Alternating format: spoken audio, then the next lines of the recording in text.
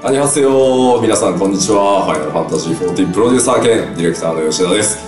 えー、韓国光の戦士の皆さんのおかげでファイナルファンタジー14の韓国版スタートしたのが8.2.2いわゆるバージョン2.2からですね蒼天の石ガールド3.0それからグレンのリベレーター4.0で今パチ4.2がリリースされて間もなくパチ4.1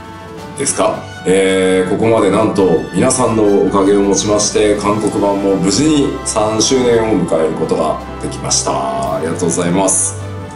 えー、間もなくですねパッチ4.2もリリースされて、えー、ウレカというですねまあ新しいコンテンツもリリースされると思うんですが今年中に多分あの順調にいけばパッチ4.3もリリースできてですねまあいよいよグレンドリベレーターというシナリオが一度フィナーレを迎えてですねその後また新しい物語に向かって、えー、走り出しが、えー、進んでいくんじゃないかなと思います。まあ当然ですねそのまま続くということはまあさらにどんどんですねまあ1年でも長くまた韓国の皆さんにですね最高の冒険と物語をお届けできるように